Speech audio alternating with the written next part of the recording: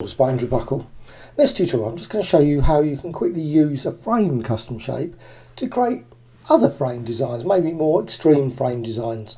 Now, first thing to do, just go over to the custom shape tool. I'm going to set the option to shape there initially and just going to select one of the shapes. Right, I'm going to start with this one. Now, what you can do, just quickly add that as a shape layer. Now, of course, you lose the thing, but that I will show you later how to get around that. Very quick and simple. Now, once you've actually got that, I'm just going to go back because I will, unfortunately, maybe go beyond the end of my history. So I'm just going to say new snapshot. That's always a key thing. Snapshot, just create snapshot.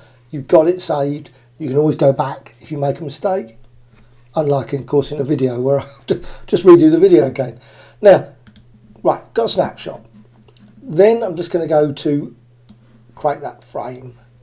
Now, if you want to actually create slightly more interesting frames or more unusual frames, there's numerous ways you can do it. You can use the direct selection tool. It's just basically points this, so you can actually just select that direct selection. So you can just select a point, select a point, and so on and so on. You just go around the whole design, maybe dragging out and certain points sometimes making a mistake just then. it didn't move at all. Right, so you've got that design there. And you can, of course, at this point, decide you want to save it. Define as custom shape, and you've got custom shape, click OK. Now, just going to go back to the original. And what you can do, you can just quickly go to over here to the custom shape again, and you can use the other custom shape and add additional paths to it. And the key thing here is to combine shape shapes. So you can just then just go around and of course you could use a different custom shape. You don't have to use the one that I've just created there. And you can just go around like that and create, say, a much more extended frame shape. Now, once you've done that, decided, finished, go to merge shape layers and make certain you've got the custom shape tool selected there and edit and define custom shape. Right, also another option, and you quickly, I'm just going to go back, back to that shape.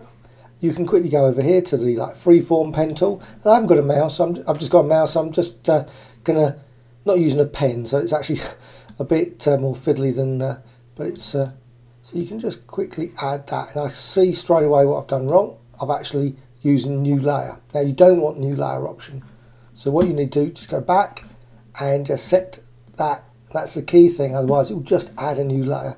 Combine shapes and then just add that, add that, and you can see it's then combined. You've got to extend it out there. And of course it's still points, so you can then go to the direct selection tool and modify the points you've actually just created.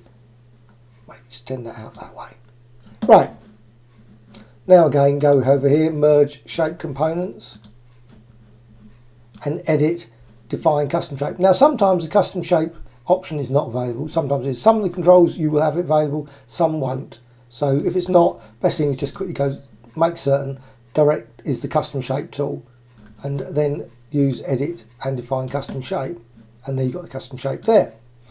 Right, once you've actually done all that, there's of course thousands of other things you can do as with most things in Photoshop. You want to and I'm just going to remove that because obviously I don't want that there. What I want to do is add it as a path and I can just quickly add and I'm going to use one of the ones I just created and there's that one there. Quickly add that path just on top of the face there. Go over here to the path and then make selection. Click OK. Now to actually create a frame just quickly say inverse and then maybe you could go for white frame but you can also go for a more colourful gradient effect as well. And then inverse maybe you might want to add so you can say stroke. Instead of blue maybe go for a black and click OK. Right and so you've got a nice sort of frame frame design using multiple shapes multiple changes of points and much more just from a single custom shape